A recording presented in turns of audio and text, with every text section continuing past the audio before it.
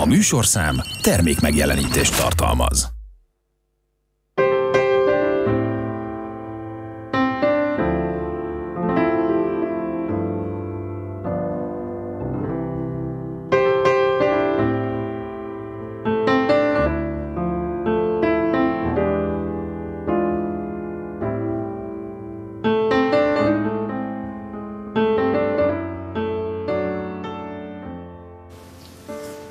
Szép estét kívánok, köszöntöm a Fehérvári Beszélgetések nézőit. Egy régi adósságot törlesztek azzal, hogy a vendégemet meginvitáltam, hiszen nem most volt, a minap, ha úgy tetszik, hogy a, a, átadták a Tarsó Ifjúsági Egyesület aranyember díjait, és ebben az esztendőben Magony Imre vehette át. Tisztelettel köszöntelek, szervusz! Szervusz! Köszöntelek könyvtárosként, helytörténészként, színművészként, rendezőként, és így tovább. Én azt gondolom, hogy ez egy olyan életpálya tiéd, ami érdemes egy kicsit, hogy elkalauzolj bennünket, mert hogy ez mind-mind olyan dolgok, és ha úgy vesszük, hogy Székesfehérvár a kultúra városa, ami kiemelten fontos számunkra. És ez így van, hála Istennek ebben az évezredben is, bár felgyorsult a világ, azért könyvekre szükség van, színművészetre szükség van, legalábbis olyan szinten, hiszen az elmúlt napokban megtapasztalhattuk, hogy a Szabad Színház továbbra is szágult, szárnyal, ha úgy tetszik. No, ahhoz viszont, hogy megtudhassuk, hogy hogy választottál pályát magadnak, kicsit vissza kell mennünk a gyermekkorba, hiszen az olvasás meghatározó élmény egy fiatal számára, ami aztán később indítatás is. Igen, ez így van. Olyannyira, hogy az ember a mesékkel kezdi, természetesen, és akkor egyre komolyabb könyveket vesz kézbe. És nagyon érdekes, hogy a mai napig milyen mélyen hatnak ezek a történetek, mesék, kalandkönyvek, kalandos könyvek, amik, amiket már idestől az ember több évtizede olvasott, de valahogyan a mai napig elevenen élnek, mint hogyha az ember tegnap olvasta volna őket. Így van, tehát én azt gondolom, hogy aki gyermekfővel elkezdi, aztán a Pál utcai fiúktól eljut a jókai regényekig, az egyszerűen nem hibázhat, főleg akkor, ha ez kellően komolyan veszi és hivatást választ. Ezek, ez az olvasás és szokások meghatározták a pályaválasztásodat is? Ez középiskolában már gyorsan kiderült? Hát az derült ki, hogy, hogy nem olyan középiskolába járok, ami nekem való.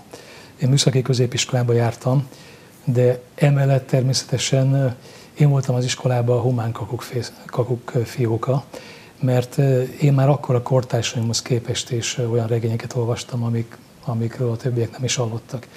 Tehát magyarul valahogy a közegem is egy kicsit más volt, de ez független volt az iskolai indítatásokról, mert mondom, ez egy műszaki iskola volt, és hát az nem a humán területek felé próbált volna navigálni. Ez egy ilyen egyéni, inkább mondhatnám azt, hogy családi hagyomány volt. Az apám is úgy él az emlékezetemben, hogy ő is minden lefekvés előtt könyvvel aludt el, tehát ő minden este olvasott. És valahogy ez, ez, ez ráragadt az emberre. Tehát általában a kultúra az nyilván meghatározza a későbbieket. Ebbe beletartozott a színművészet is nálad? Az is fiatalkorban kattant be nekem, tehát gyakorlatilag amikor középiskolás voltam, akkor a szerepléseim során észrevettem, hogy, hogy hatok a közönségre. Tehát gyakorlatilag ez nem volt tudatos akkor, csak, csak kiderült, hogy, hogy valami működik. És akkor elkezdtem afelé is fordulni, mert izgatott az is, hogy hogy, hogy lehet emberekre hatni. Tehát ennek tükrében a pályaválasztásod egyértelmű volt, hogy nem műszaki pályát Igen. választasz, hanem a humán oldalt. Hogy történt ez? Hát igazából volt egy, egy varga betűm, mert én, én technológus voltam azért évekig a videótomban. Tehát magyarul akkor az elhelyezkedés nem mindig volt olyan, nem volt akkor a választék a, a pályakezdésnél. És nekem volt egy ilyen kerülőutam, hogy, hogy az, abba kezdtem a munkámat, amit tanultam. Gyakorlatilag évekig, vagy közel egy évtizedig én műszaki ember voltam. Viszont az álmaidat nem adtad fel. Hát természetesen, hát amellett én már a színjátszással foglalkoztam, és hát természetesen egészen más foglalkoztatott a munkám mellett. A napi 8 óra után, ahogy én elhagytam a gyárkaput, én már nem töröttem azzal, ami a napi munkám volt. Igen, hát a Szabad Színházat tudjuk, egy kicsit inkább előtte, akkor beszéljünk a Szabad Színházról, hiszen az nagyon is jól tudjuk, most a, a napokban a születésnapot ünnepeltek, egy nagyon-nagyon komoly születésnapot, és én azt hiszem, hogy te vagy az egyike azoknak, akik eredendően már a kezdetektől ott voltál a csapattal ha nem is a kezdetektől, ugye, mert ez 60 év. Igen, igen. Hát pontosan 65 éves, mert 1958-tól datálják a, a volt Videoton színpadnak a, a Videoton színpadnak az elődjét, illetve akkor még nem így hívták, de aztán is a gyárnak volt ez a munkásszínyet szó csoportja. De én a 70-es évek végén kerültem ez a csoporthoz, 78-ba.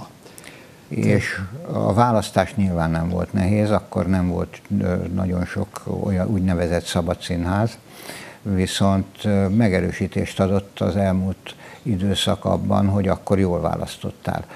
Beszéljünk a kezdetekről, a színházi kezdetekről, hiszen én emlékszem még arra az időszakra, nagyon sok amatőr színház létezett. Talán több, mint mostanság, hiszen nem volt olyan középiskola, ahol nem volt, és ráadásul kellően népszerűk is voltak. Milyen volt a, ilyen értelemben a színészi, aztán a később a színház rendezői pályakezdésed?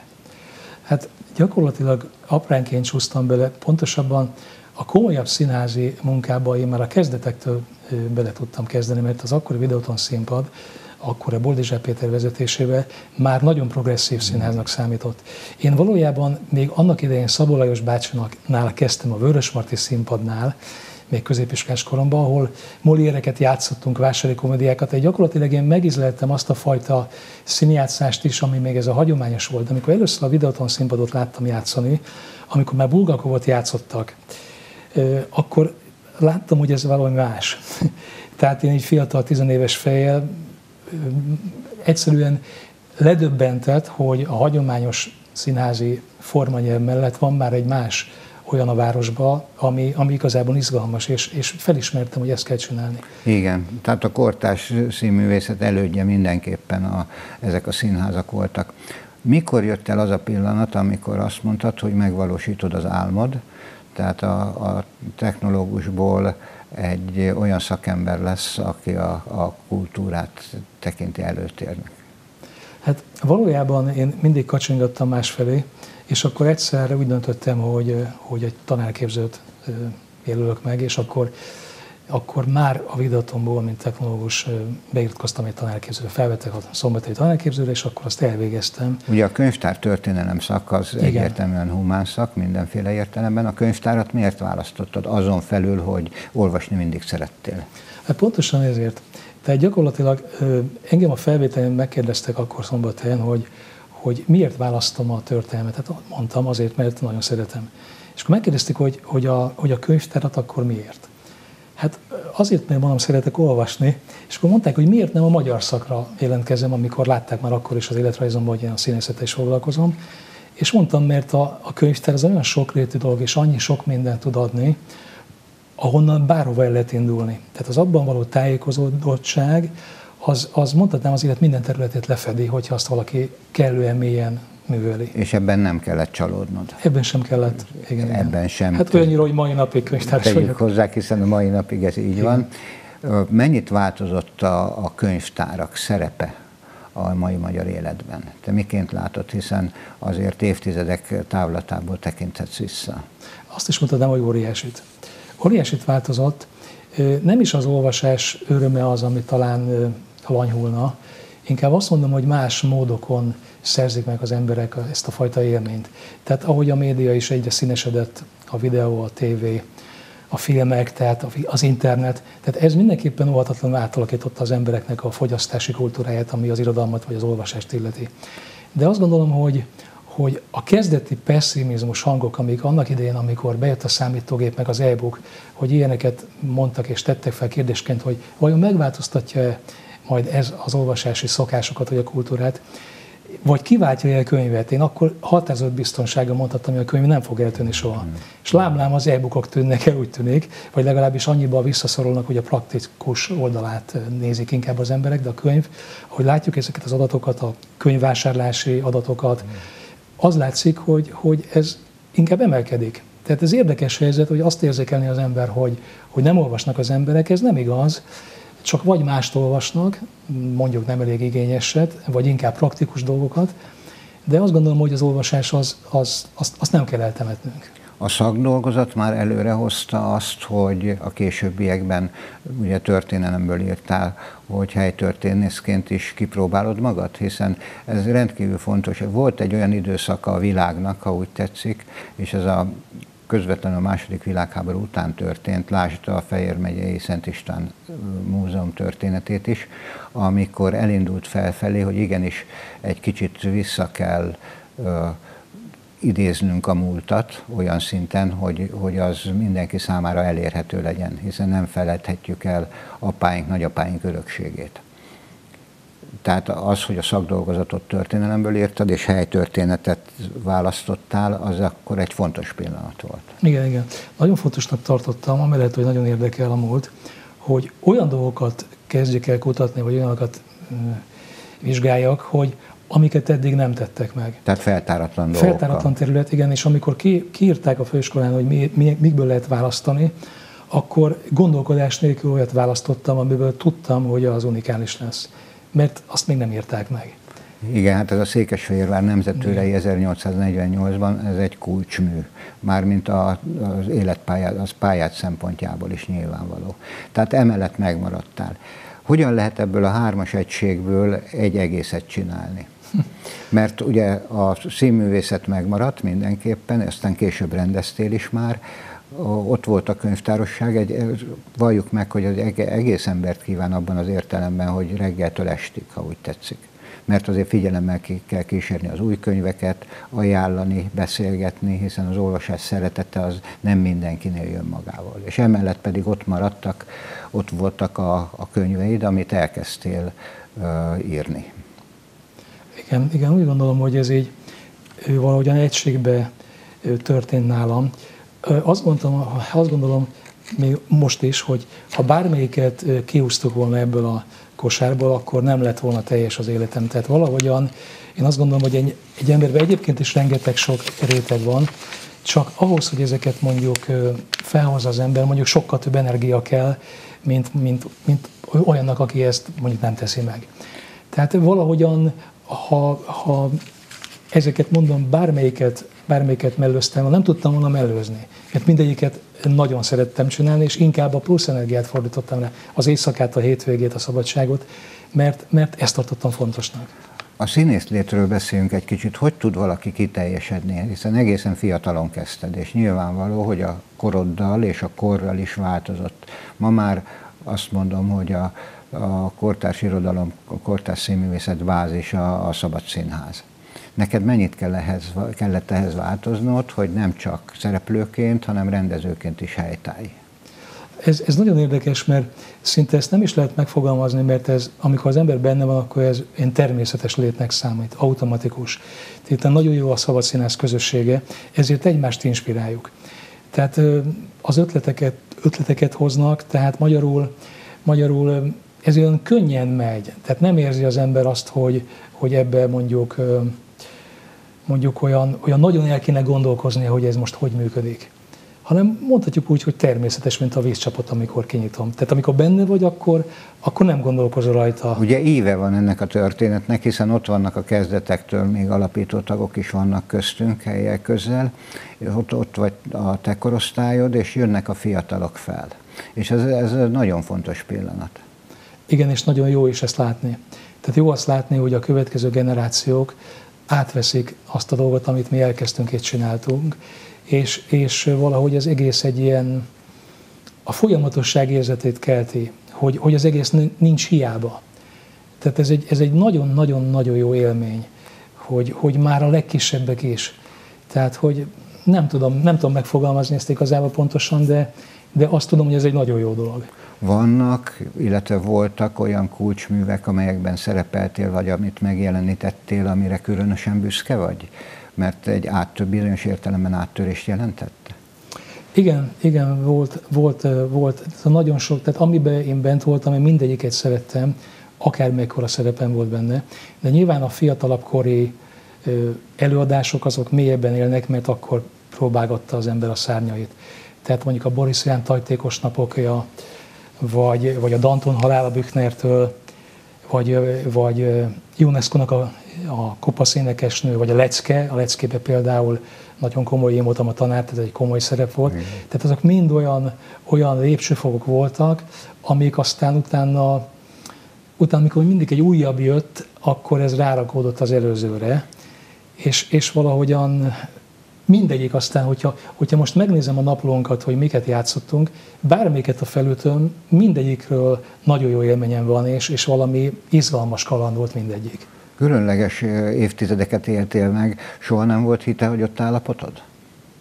Nem. Nem. Nem, nem volt. De ez nyilván hozzásegített ez a hármas egység, amit egységként igen, kezelünk igen, egyértelműen. Igen. Mennyit változtak az olvasói szokások a könyvtárban? Hiszen minden eddiginél több bulvár jött, ma már, ha úgy tetszik, ha annak idején a jókait szerettük, nagyon jókait, Mixátot, Mórit, stb. azokat a, a vagy rejtőjenőt és sorolhatnám vég nélkül, de ma már ugye felváltotta a könyvtárakban is megjelentek a, a, azok a bulvár sorozatok, szerzők, akiket előszeretettel olvasnak fiatalok, kevésbé fiatalok egyaránt. Igen, azt látom, hogy, hogy ezek a, a könnyebb irodalmak, a lektőr és a bestsellerek, ezek nem tűnnek el, ahogy annak idején meg volt a Berkesi, Szilvási 60-70-es éveknek és a slágere. Most is megvannak ezek a slágerek, de azt látom, hogy párhuzamosan vannak olyanok, illetve van egy olyan réteg, aki az igényesebb irodalmat keresi, és a kortársírókat, tehát az ismert ma sikeres kortársírókat olvassák nagyon sokan, és ezt lehet, hogy, hogy, a, hogy a korábbi évtizedekben ezt nem lehetett annyira tapasztalni. Ott a bulvár mellett inkább a klasszikusok voltak meg, a klasszikus Igen. külföldiek. Most viszont úgy azt tapasztalom, hogy a kortársakat keresik legfőképp a jó irodalmat. Tehát ez a tapasztalat. Egyébként ugye úgy fogalmaztál, hogy ezek a tapasztalatok beépültek a személyiségedbe. Ez előremutató mindenképpen? Tehát minden olyan lépcsőfokot bejártál, amit azt mondom, hogy ennyi idős fejjel meg kellett tenned ahhoz, hogy ismert és elismert lehessél a saját választott hivatásodban? Hát igen, azt gondolom, hogy, hogy talán igen. Bár megmondom őszintén, ezen, ezen nem igen gondolkoztam, még hogy mi lett volna az, ami, ami hiány, mert azt gondolom, hogy alapvetően optimista alkat vagyok, hogy, hogy mindig a következőt nézem, hogy mi lesz a következő, és, és amik esetleg voltak az életemben negatívumok, hál' Istennek nem volt túl sok, azokon mindig túllendítettem magamat. Valahogy az előretekintéssel. Azzal, hogy a kulturális értékek megőrzése mindennél fontosabb? Igen. Bizonyos értelemben? Igen. És ez vezeti a tolladat is? Igen. A Igen. klaviatúrát? Igen, és, és amellett, hogy, hogy azt szeretném mindenképpen elérni, hogy az, az eljusson az emberekhez és hasson. Tehát, hogy valahogyan egy hiátus próbálok betölteni. Tehát amiket én eddig írtam, ez mindig olyan volt, hogy, hogy úgy éreztem, hogy ha azt kézbe veszik, akkor hoppá, hát erről még nem is hallottam, hogy hát, nem tudok róla. Igen, mert hiánypótló valljuk meg, tehát a Székesfehérvár szobrai mindenképpen. Tehát óhatatlanul is járjuk, járjuk, és szép lassan a belváros számunkra ugyanolyan bárhol, és ha kimegyünk valahova, mivel székesfehérváriak vagyunk, olyan sokszor láttuk, hogy nem is figyelünk fel rá részletekre. Ez fontos számodra, hogy, hogy egy-egy alkotás múltját is bemutasd? Igen, igen. Hát mindenképpen, mert, mert hát azzal lesz teljes az egész. Tehát amellett, hogy én esztétikai receptet nem szerettem volna soha adni ezekhez a szórokhoz, vagy épületészekhez, mert nyilvánvaló az nem hivatásom, mert elég, hogyha felhívjuk a figyelmet rá, és esetleg a hátteréről adunk információt, és akkor mindenki eldönti, hogy kinek mi tetszik. Nagyon sok olyan szobor volt, amiket utólag azt mondták, hogy hát ez hogy néz ki, milyen. Tehát a mai napig vannak ilyen dolgok. Én ezeket mindig próbáltam elhárítani, hogy, hogy nem ezzel kell foglalkozni. Nem az esztétikummal, mert, mert aztán egyszer kitették oda, valakik azt eldöntötték, hogy az ott a helye, és az ízlésekről hát nincsen, nincsen diskurzus, vagy nem kell, hogy vita legyen, hanem, hanem azt valahogy meg kell próbálni megérteni, ha sikerül, mert egyébként nagyon sokszor úgy van, hogy, hogy az emberek nem tudják, hogy hogy értelmezek egy adott alkotást, de ez igaz mondjuk a, a képzőművészetnek az egyéb ágaira, a festészetre is. Hogy, hogy egyszerűen szerintem nem tanítják meg azt kellőképpen iskoláskorban, hogy hogyan kell egy, egy művet értékelni, hogyan kell elemezni. Tehát kimondhatjuk, hogy ilyen értelemben is kiteljesedtél? Gondolom, mert, igen, mert ez talán. bölcsességet hoz, és nem csak akkor, hanem ha az általunk választott hivatásban, hivatásból egyre többet szeretnénk megtudni hiszen minden tudó ember nem létezik. Ez vonatkozik a színházra is. A színházban mit tudsz hozzátenni mostanság? Hiszen tudjuk, hogy jelentkeztél a színművészeti főiskolán, nem vettek fel. De ez mit sem von le abból, hogy a Szabad Színház, ahogy az imént mondtam, és neveket nem sorolok, de veled az élen, ha úgy tetszik, nagyon sokat ad a színházi kultúrának itt Székesfehérváron is, hiszen a számtalan díjról már ne is beszéljünk. Igen, igen, hát azt gondolom, igen, hogy ez a, ez a színház is olyan jellegű, olyan fajta műfaj, mint ahogy amit a képzőművészet el lehet érni, hogy hassunk az embereket, csak más módon. Csak ami ebbe izgat, és, és sokszor ö, érdekesebb számomra, hogy olyan ö, csatornákat is meg kell mozgatnom, vagy olyan dolgokra is, olyan dolgokra is kell, hogy rezonáltassam a nézőt, amit más eszközökkel nem tudnék elérni ha ír valaki akár egy szakmunkát vagy egy szépirodalmat, teljesen más a hatása. És ezt a hatást azt én nem tudom lemérni, csak egy későbbi visszajelzésekből. A színházban viszont azonnali hatás, tehát ami a legjobb abban, hogy rögtön lehet aratni. A könyveidet okay. viszont a kutatás élteti nyilvánvaló, Igen. az Igen. pedig egy teljesen más tevékenység. Hogy tudsz ebben kiteljesedni? Mármint a, a könyvírásban. Gyorsan élsz? Nem. Nem, mert amiket választok, az mindig több hónap vagy több éves munka. Tehát mélységei vannak, igen, kutatni igen, kell igen, utána, igen. nyilvánvaló, és nyilván akkor utána tovább megy. Uh, és mennyire tudatos a választásod? Hát tudatos. Hogy a könyvtárban látom nyilván, hogy mi az, amire lenne szükség, vagy, vagy figyelem az emberek érdeklődését, hogy, hogy mi az, ami esetleg, esetleg olyan, olyan dolog lehet, ami, amire nem gondolnak elsőre, hogy ezzel is lehetne foglalkozni. És akkor, és akkor tulajdonképpen nagyon sokszor adhok volt, de mindig felmértem előtte azt, hogy ehhez mi az, amit, amit meg tudok mozgatni. Hát az ötletből a terepszemle következett utána nyilván, és volt olyan téma, amit el kellett, hogy vessek, mert, mert azt mondtam, hogy ez nincs elég anyag, nincs elég mélység. Az megerősít, hogy mindhárom választott hivatásodban, mert nyugodtan mondhatjuk hivatásnak mindhármat, elismerés övez abban az értelemben, hogy amikor szerintem ugyanazt jelenti, ha az olvasóteremben beszélgetsz egy olvasóval, aki örül annak, hogy mit javasoltál és megbeszéli veled, ugyanazt jelenti a közönség tapsa, vagy a társaid megerősítése, illetve az olvasók elismerése. Ez tulajdonképpen itt azért aranyember, ség, mondom én. Igen, tehát rendkívül jó érzés az, amikor mondjuk egy olvasó úgy kéri a általam írt dolgokat, hogy nem tudja, hogy én írtam. Tehát amikor először ezzel szembesültem, akkor mondhatnám azt, hogy egy bizarr helyzet volt. Tehát, és, és érdekes, tehát olyan dolgokat mozgatott meg az emberbe, hogy azt mondta, hogy, hogy, hogy lám, tehát érdemes. Tehát, hogy érdemes. Tehát hogy valahogyan azt mondom, hogy mindegyikre azt mondhatom, hogy, hogy, hogy érdemes csinálni. Ilyen értelemben vannak, van jövőképed? Hogy mit szeretnél? Például van olyan könyv, amin most dolgozol? Igen, igen. Hát most hála Istennek az önkormányzat támogatásával az aranybulláról írott dolgom, az most meg fog jelenni ebbe az évbe, úgy tűnik.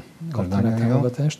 Ez az aranybullának a fehérvári emlékezete, vagy az elmúlt száz évnek a, a, azok, a, azok a dolgai, amik, amik kapcsolódtak az aranybullához a városi szinten.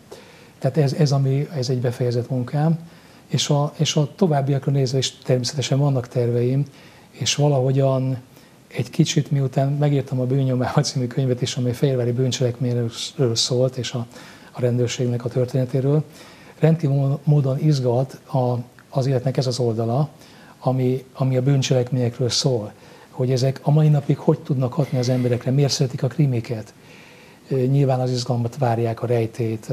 Valahogyan egy ilyen, mint ahogy a horrort is azért nézik, hogy, hogy kell egy feszültség, amit aztán majd megoldódik. Tehát valahogy ezt megpróbálom a magam eszközeivel még ki, kiaknázni, hogy esetleg ebbe, ebbe az irányba is elinduljak. Színház? A színház is természetesen, az is, az is a, a következő darabjaink már úgy lehet tudni, hogy, hogy mik lesznek, és hát azokban majd, majd remélem, hogy szerepelni fogok, és akkor majd ott is tovább folytathatom ezt a dolgot. És az olvasótermekben pedig hát természetesen meg, mindig az meg a munka, igen. No, hát akkor én ehhez kívánok jó egészséget, Köszönöm és további szépen olyan munkát, ami mindannyiunknak megdobogtatja ilyen értelemben a szívét, mert én azt hiszem, hogy ez a hármas egység, ami téged jellemez, az nagyon fontos Székesfehérvár számára, ha már egyszer a kultúra városának is nevezzük magunkat. Köszönöm szépen, hogy itt voltál, megtiszteltél, és még egyszer gratulálok mindannyiunk nevében az Aranyember díjhoz. Köszönöm szépen. Köszönöm. Kedves nézőink, a fehérvári beszélgetéseket látták, vendégem Magony Imre volt, az új Aranyember díjas könyvtáros, színművész és író. Köszönöm figyelmüket, viszontlátásra!